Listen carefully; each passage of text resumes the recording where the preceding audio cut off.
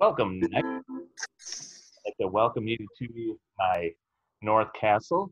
My name is Abendigo, and I have some friends here that we are going to tell you a story.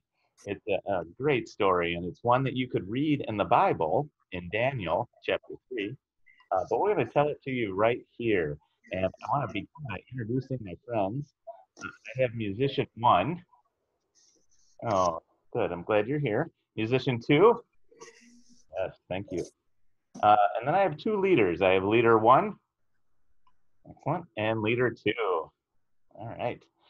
And then we have King Nebuchadnezzar. King, it's an honor to have you with us today. Thank you for being here. Mm-hmm. And we have uh, two of my real good buddies. We have Shadrach. No, hey Shadrach. And uh, Meshach. Right. Okay. And and like I said, I'm Abendigo. We're three buddies. We hang out together a lot.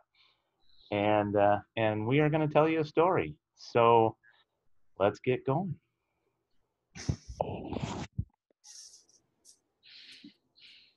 Leaders of Babylon, gather around King Nap in the desert. Nebuchadnezzar. King Nebuchadnezzar has a special announcement. I have summoned you all here today because I have something very important to show you. Behold, this beautiful, magnificent, awe-inspiring statue I have made. Thank you. I am rather proud of it. But there's more. Tell them, musicians. King Pelican Feather. Nebuchadnezzar. King Nebuchadnezzar has issued a decree that whenever you hear the special fancy schmancy music played like this, you are to bow before this gold statue.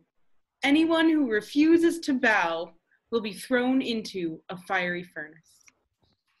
Let's see just how obedient these people are. Musicians, play the fancy schmancy music.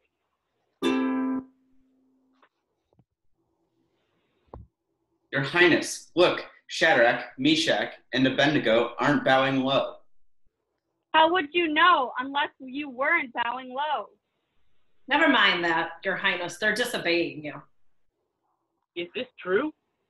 Yes, King Under the Weather. Nebuchadnezzar. King Nebuchadnezzar, they didn't bow at all. Not even when they heard the fancy schmancy music? Not even then. They are not obedient to you like we are, Your Highness. Ooh, that burns my britches. Shadrach, Meshach, and Abednego, don't you realize that if you fail to bow before my statue, you will be thrown into a fiery furnace. Then what God will rescue you from my power? We don't need to answer that question. If God was, if the God we serve is able to rescue us from the fiery furnace, then let our God do it. But even if our God doesn't, know this for certain we will never serve your gods or worship your gold statue. Oh, no, you didn't.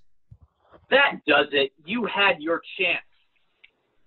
Turn the furnace up. How high, Your Highness? Twice the normal heat? Three times? No. Make it seven times hotter. Seven, seven times? Now that's hot. And you take Shadrach, Meshach, and Abednego and march them right into the furnace. Uh, wait. Having a change of heart? No, it's just that, well, it's always Shadrach, Meshach, and Abednego. This, and Shadrach, Meshach, and Abednego that. Why am I always mentioned last? I mean, that's not even alphabetical order. Fine, take Abednego, Meshach, and Shadrach and throw them in the fiery furnace. Happy now? Yes and no. Now, let this be a lesson to anyone who would dare to. Didn't we throw three people into the fiery furnace? Yes, Your Highness. Look, I, I see four. just walking around the furnace like it's a day at the beach. And the fourth looks like one of the gods Shadrach, Meshach, Abednego. Oh man. Come out of that furnace right now. Are you okay? Yes, Your Highness. Never felt better. They don't even smell like the fire. You know how when you're toasting marshmallows for s'mores and S'mores haven't been invented yet. oh, May the God of Shadrach, Meshach, and Abednego be praised. Their God sent a messenger to rescue them. They stood true for their God, even if it meant risking their own lives. No more bowing to statues. From now on, everyone will treat their God with respect. Your Highness, can we still play the fancy schmancy music? Please, we practice it a lot. Sure. Yay!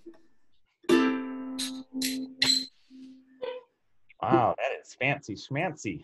Well, thank you for listening to the story. Uh, stay tuned. There's more to come.